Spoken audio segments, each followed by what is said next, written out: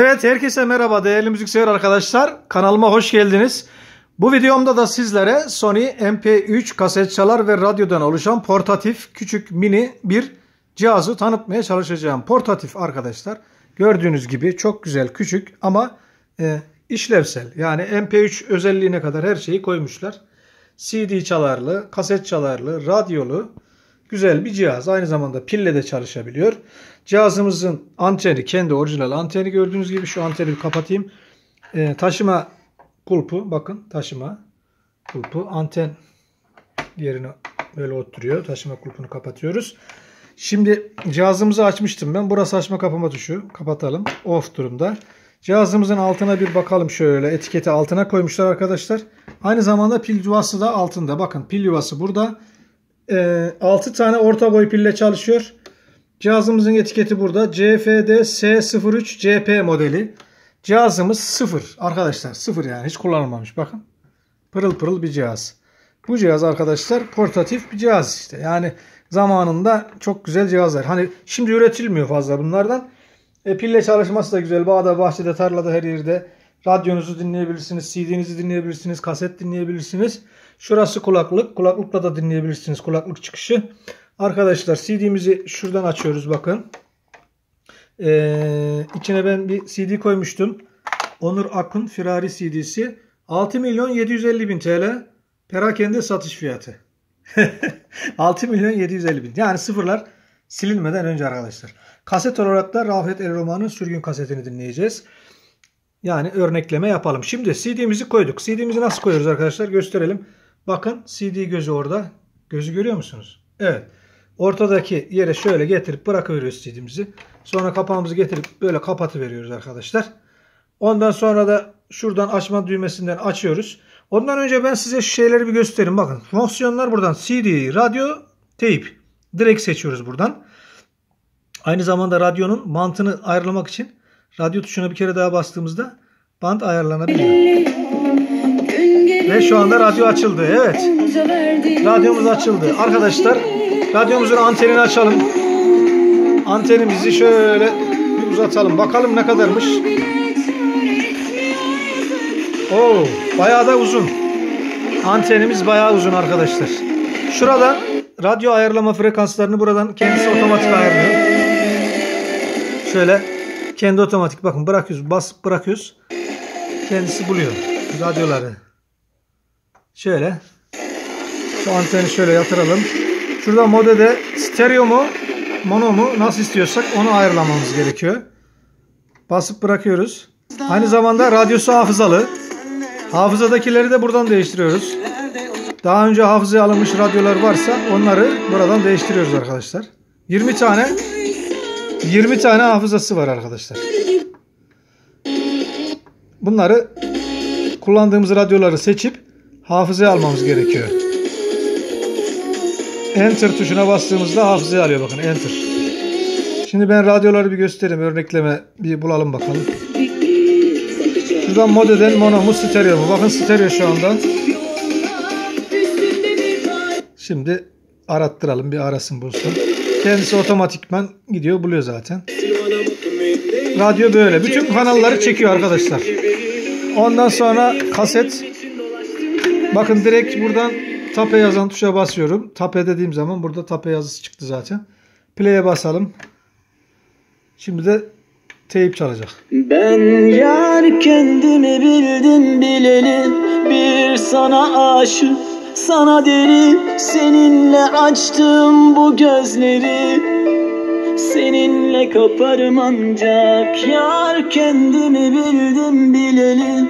Bir sana aşık sana deli seninle açtım bu gözleri. Seninle kaparım ancak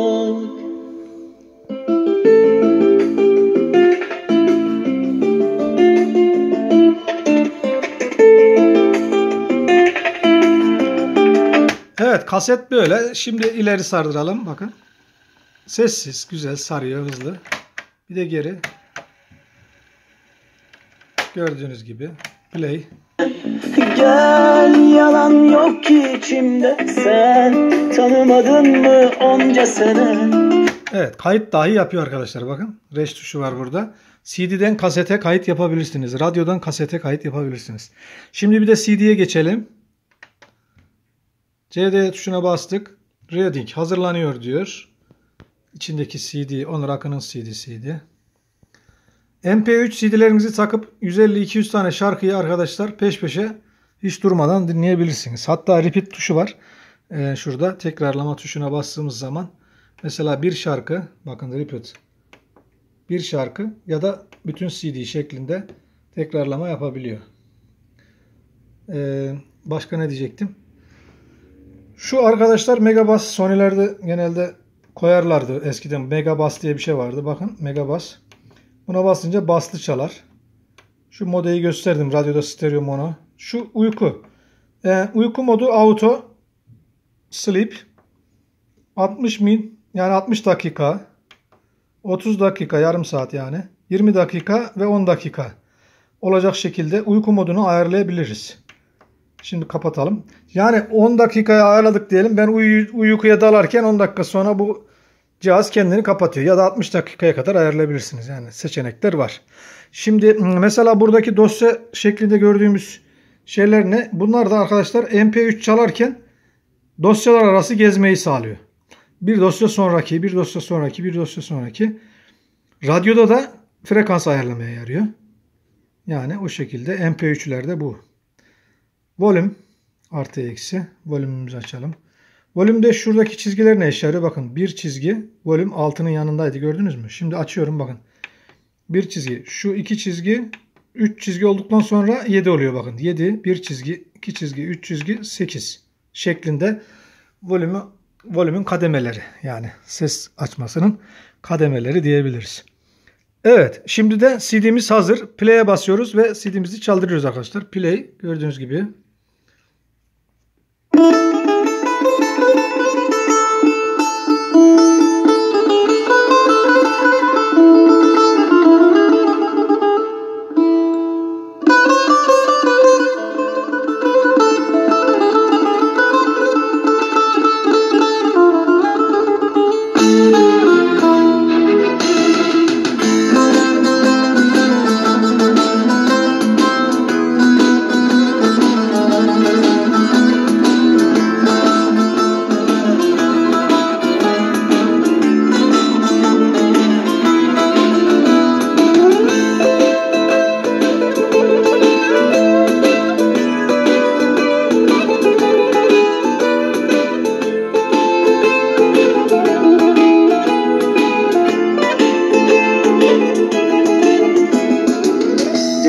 ıslak aynasında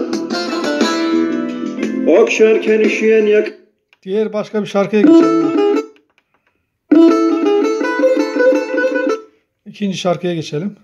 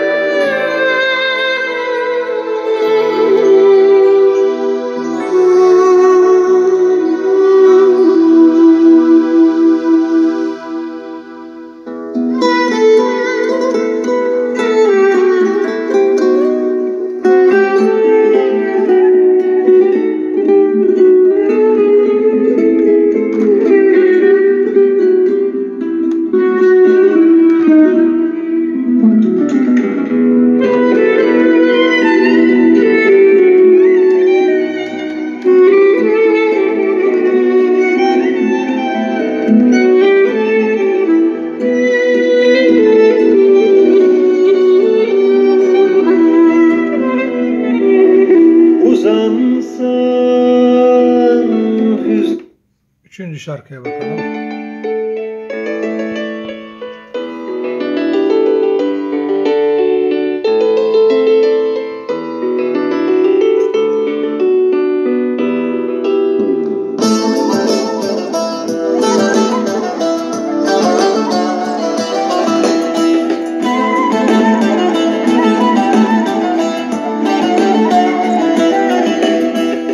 gece Evet arkadaşlar bir cihaz tanıtımımızın daha sonuna gelmiş durumdayız.